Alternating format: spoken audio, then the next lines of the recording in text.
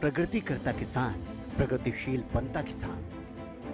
कृषि प्रधान प्रदेश की शान बनता प्रगतिशील किसान। हरियाणा आज उन राज्यों में से एक है, जहाँ का किसान आज देश ही नहीं, बल्कि दुनिया में अपनी पहचान बना चुका है। यहाँ के किसान पारंपरिक खेती छोड़, प्राकृतिक खेती को न सिर्फ़ अपना रहे हैं, बल्कि अपनी आय को दोगुना करने का काम कर रहे हैं। साथ ही करोड़ों किसानों के लिए उदाहरण भी बन रहे हैं। इन्हीं में से एक हैं कैथल के गाँव सिकंदर खेड़ी के प्रगतिशील किसान राजेश कुमार। राजेश न सिर्फ़ ऑर्गेनिक खेती कर रहे हैं, बल्कि मधुमक्खी पालन, बिना रासायनिक खाद का उपयोग कर गेहूँ और अन्य फ़सलों का उत्पादन कर रहे हैं। राजेश खुद तो कमा ही रहे हैं, साथ ही इन्होंने किसानों का एक ग्रुप बनाकर अपने साथ जोड़ रखा है और उन्हें भी ट्रेनिंग देकर मुनाफा दिला रहे हैं। आईपीओ से पहले हमारा एक ग्रुप था।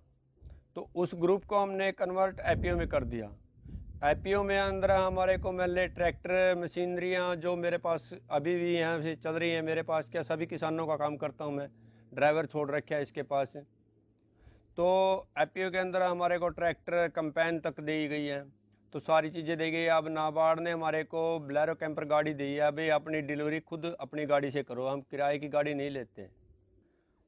जो हमारे मुख्यमंत्री जी एम नौलार जी तो उन्होंने बहुत किसानों के लिए बहुत बहुत ज़्यादा प्रोत्साहन राशियाँ भी करी हैं और प्रोत्साहन दे रहे हैं और अच्छी ट्रेनिंग भी दिलवा रहे हैं। तो उससे हमारे को अच्छे अच्छे प्रोत्साहन मिल रहे हैं। इतने मेले हो चुके हैं, किसी दूसरी उसमें स्टेट में नहीं हुए, जो हमारे हरियाणा स्टेट में हो चुके हैं।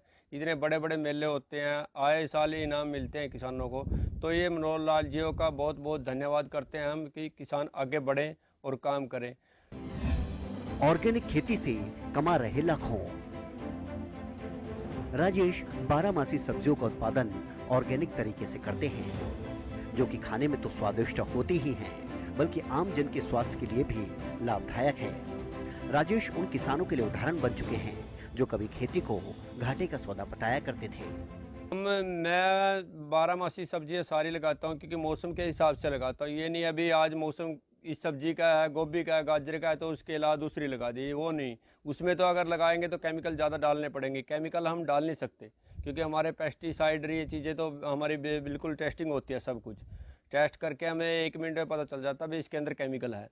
तो ये चीज़ें नहीं डाल सकते। हैं मौसम के हिसाब से ब्रोकली लेट्यूस सैलरी सलाद पोपचोए वगैरह सारी सब्ज़ियाँ करता हूँ जो होटलों में चलती हैं।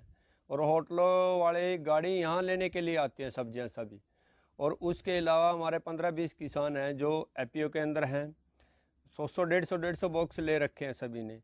ऋषि पाल बंदराना है, दो सौ बॉक्स हैं। मेरे पास डेढ़ सौ बॉक्स हैं।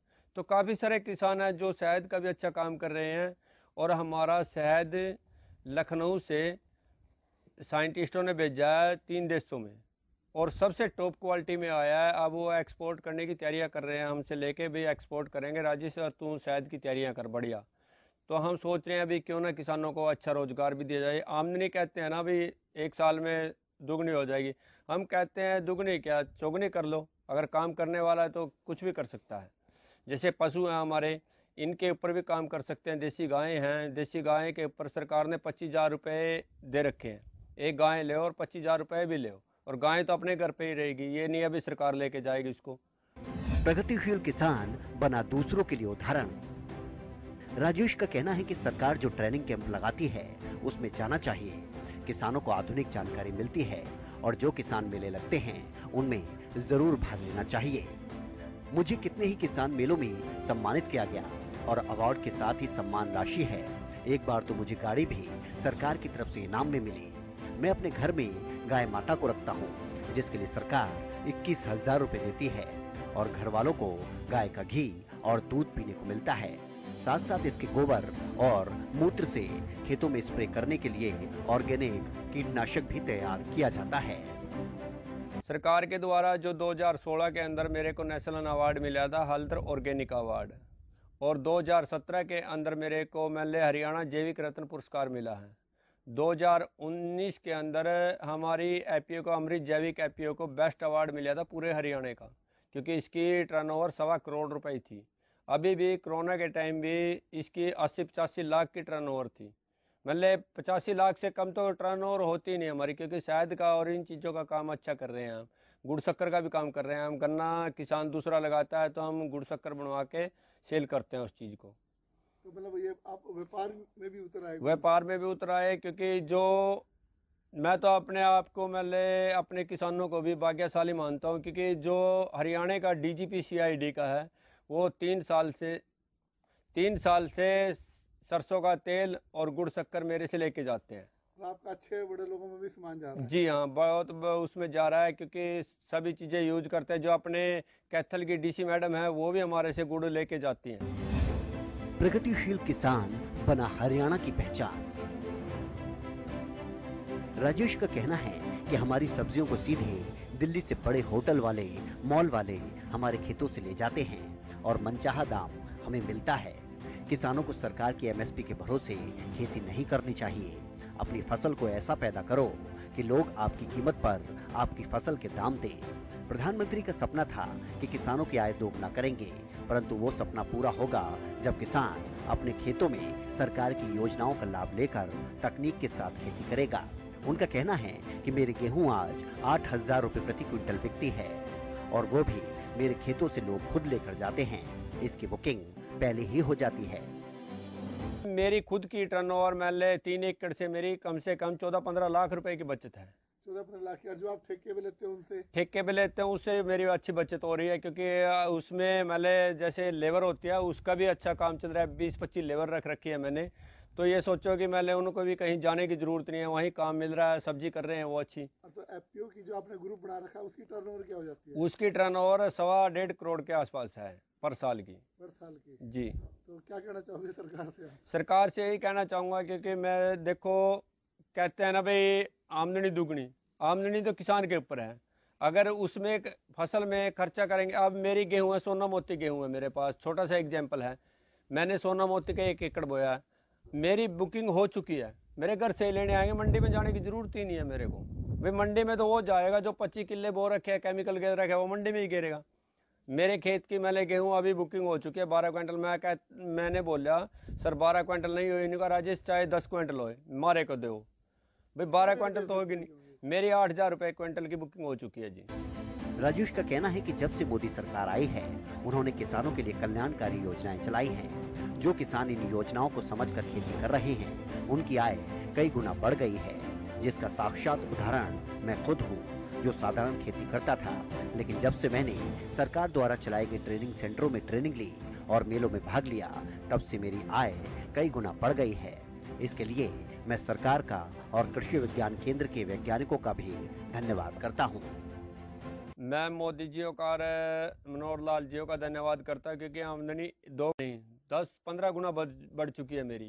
क्योंकि मैं सरकार का बहुत बहुत धन्यवाद करता हूँ और इसके साथ साथ मैं कृषि विज्ञान केंद्रों का भी धन्यवाद करता हूँ क्योंकि साइंटिस्टों के द्वारा ही हमें ज्ञान मिला। तो मोदी जी ने कहा तो ज्ञान दो, तभी तो दे पाए। तो हम सभी डिपार्टमेंटों का धन्यवाद करते हैं क्योंकि इतना ज्ञान मिला और आज हमारी आमदनी कहाँ से कहाँ है। हम बहुत बहुत धन्यवाद करते हैं सरकार का। हमारे को मैंने थोड़ा सा एक और बीच में रह गया था, क्योंकि हॉर्टिकल्चर के द्वारा बहुत बढ़िया चीज़ें मिलती हैं। हॉर्टिकल्चर के द्वारा मेरे को मधुमक्खियों का मैंने वो मिला है। जैसे पचास बॉक्स के अंदर मैंने हमारे हॉर्टिकल्चर डिपार्टमेंट पचासी हज़ार रुपये देता है और बॉक्स देता है। तो मधुमक्खी का काम है तो ज़मीन की भी ज़रूरत नहीं है। खुद की ज़मीन की ज़रूरत नहीं अभी ज़मीन है तो मधुमक्खी करे, का काम करेगा। नहीं बी कीपिंग का काम बढ़िया करो और अपनी ज़मीन की ज़रूरत नहीं है। गवर्नमेंट से सुविधाएँ ले क्योंकि हॉर्टिकल्चर डिपार्टमेंट सब्जियों के ऊपर, मेरे को मैं ले, लो टर्नल पे टर्नल पे, सभी चीज़ों पे सब्सिडियाँ मिली है ड्रिप तक। तो अभी मैं ले, काम करने वाले के लिए है। काम करेगा तो गवर्नमेंट भी बहुत बढ़िया सहयोग दे रही है। जैसे हमारा कृषि विज्ञान केंद्र है। हमारे कैथल के अंदर इतने अवार्डी किसान है कि कृषि विज्ञान केंद्र के द्वारा ही ये। क्योंकि वहाँ ज्ञान मिलेगा तभी तो ले पाएँगे।